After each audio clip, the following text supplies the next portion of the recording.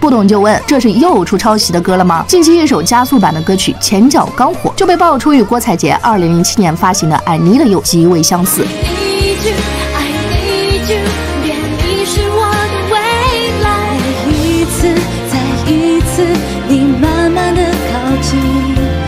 心跳的证明》发行于二零一九年，是电影《一吻定情》的主题曲。歌曲在发行之初就一直备受争议。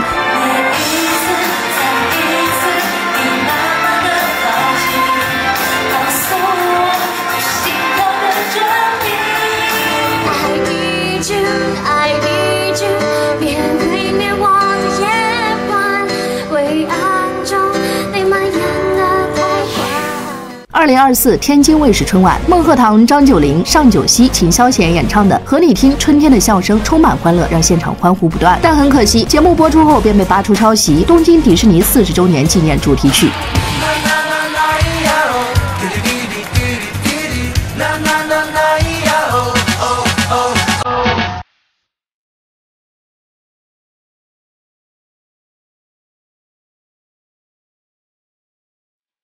事件发生后，作曲人评论区一度被沦陷，但直面硬刚的态度也再次将事态严重化。不知就此，你们的态度又是站在哪一方？一起击个掌，一起晃，一起唱，把烦恼、悲伤、把惆怅都释放。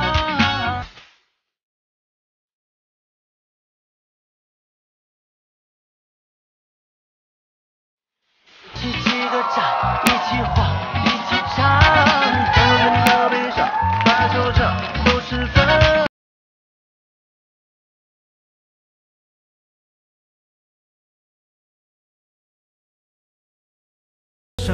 朋友，你请听我讲。海来阿木的《西楼儿女》在经过岳云鹏翻唱后，曾感动了无数人。不过这首歌的旋律却与一位瑞典民谣女歌手零五年发行的歌很像。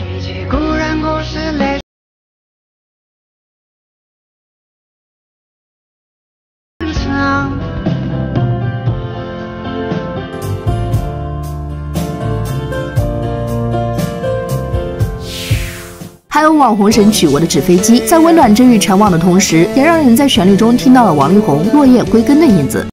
我的纸飞机呀飞呀飞，飞到了路当边。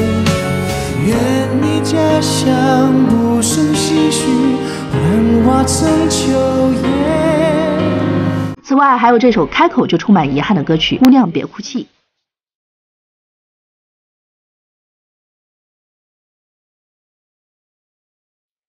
与毛宁三十年前发行的《蓝蓝的夜，蓝蓝的梦》几乎如出一辙。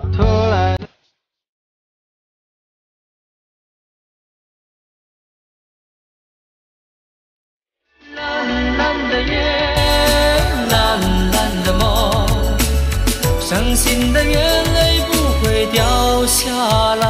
有些歌听起来像，但真的不能说是抄袭，就像是豆腐和豆腐脑的区别，明明是一种物质，但永远都是两个物体的存在。那以上就是本期全部内容，我们下期见。